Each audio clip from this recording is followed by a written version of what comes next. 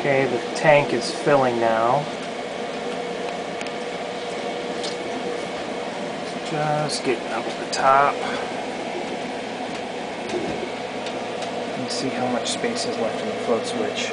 This is using a Mag 7 and it's got a good, good 8 feet of lift on it right now, so it's running a little slow. I'll probably have to go to a bigger pump.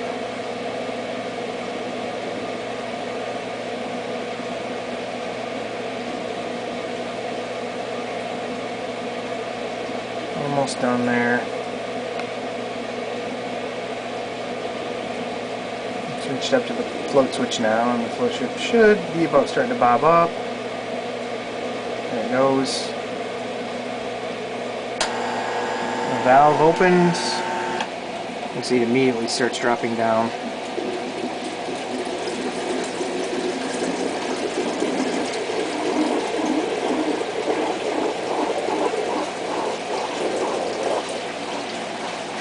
When it gets down to the bottom float switch and the valve closes just before it starts to dry air.